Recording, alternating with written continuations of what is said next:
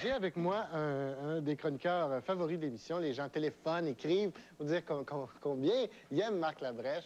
Euh, Marc, tu dois être fier du succès que tu remportes à l'émission. Je n'ai que sept minutes pour la chronique, idéalement cinq, Normand. Alors, je vais enchaîner tout de suite avec mon sujet de cette semaine. Nous allons parler de la chasse aux batraciens ou euh, de la chasse aux grenouilles, euh, qui est une activité fort exaltante, d'ailleurs, qu'on peut pratiquer en famille, qui remonte depuis la nuit des temps. Nos ancêtres pratiquaient la chasse aux grenouilles. Ils les capturaient, ils les aplatissaient à coups de massue devant le foyer et ils s'en servaient comme peau pour faire l'amour.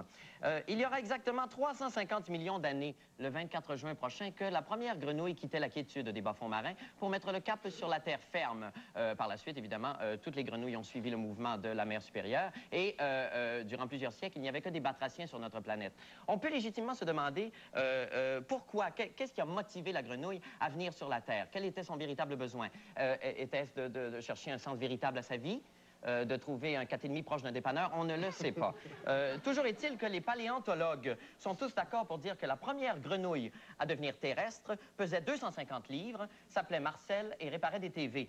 Euh, son, image aurait servi comme modèle ensuite à l'acteur Boris Karloff euh, dans les premiers films de Frankenstein où il jouait le rôle d'Igor. Euh, on se souvient de cette scène émouvante où, où, Igor demandait à son père euh, spirituel Igor, va chercher cerveau.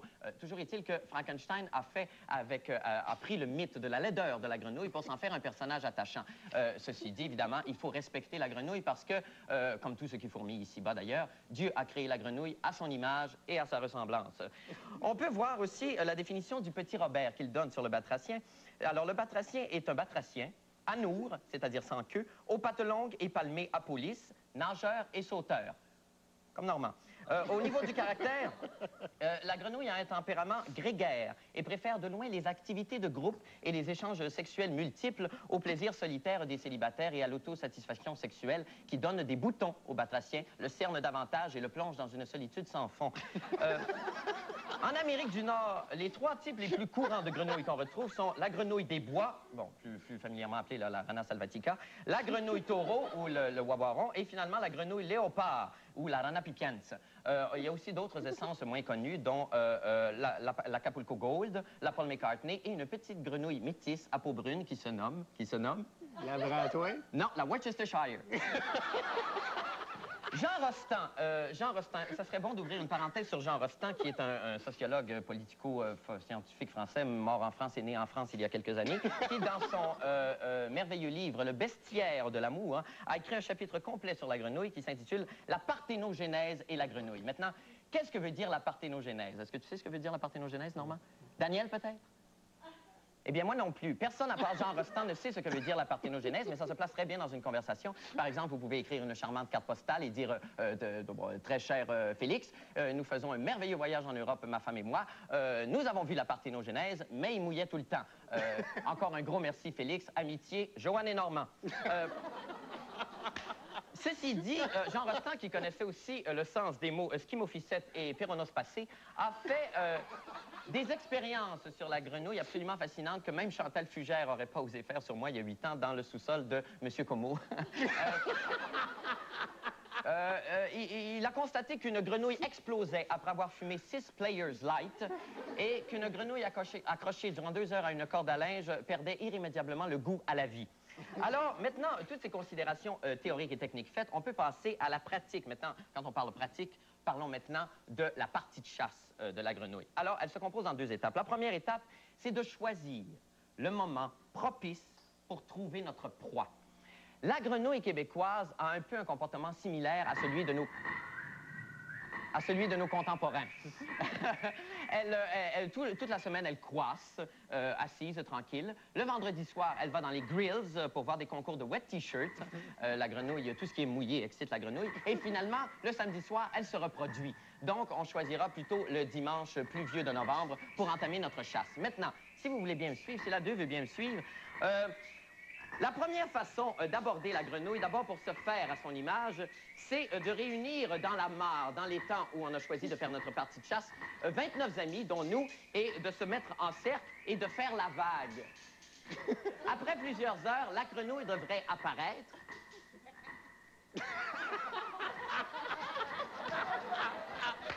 sanguinaire et meurtrière. La première vision d'horreur euh, de la grenouille est très difficile et peut décourager les chasseurs les plus téméraires. On suggère donc euh, une préparation mentale. Par exemple, vous pouvez regarder et enregistrer tous les bulletins de météo de Jocelyne Blouin à Montréal ce soir et les faire passer sur votre magnétoscope en fast-forward. Vous serez prêt. Maintenant, la deuxième étape, on parle du call de la grenouille. Peu de personnes savent comment caler la grenouille adéquatement et les plus timides euh, suggèrent des croissements un peu, un peu euh, balbutiens ou enfantiens comme ceux-ci. Yolande? Yolande? Bon, ce genre de call est absolument ridicule et en plus est absolument inutile. Faire venir la grenouille est un art que seuls les plus crapauds parviendront à maîtriser, finalement. Alors, ce qu'il faut, euh, tout est dans la manière de flatter la grenouille, de lui donner le sentiment d'une grande beauté et de la convaincre, finalement, qu'elle est une prima donna. On recommence. Yolande? Yolande?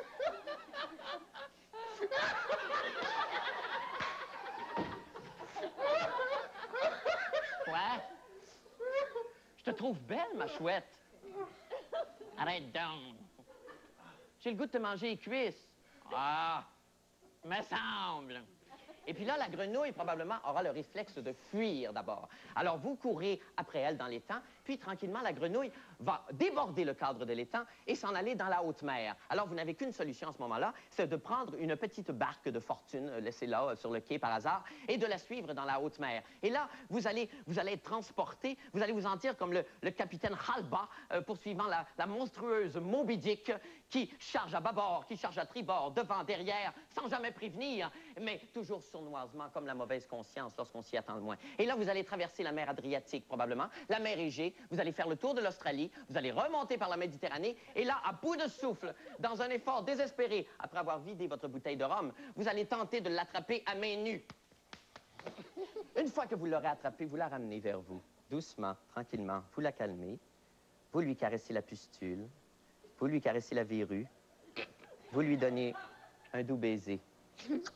Non, non, pas comme ça, un vrai baiser. Une fois revenu, la métamorphose du baiser aura transformé cette petite grenouille en beau prince ou en belle princesse, selon votre orientation sexuelle. Et là, probablement que vous allez vous marier, que vous allez faire des enfants et que vous allez vous installer dans un petit château à Pointe-au-Pic avec vue sur la mer. Et là, vous la regarderez le matin, dormant encore lorsque vous serez éveillé. La pustule toute détendue, la base dégoulinante sur la tête de l'oreiller. Et là, vous vous direz oui, oui. Derrière chaque immonde laideur se cache une superbe beauté. Merci beaucoup.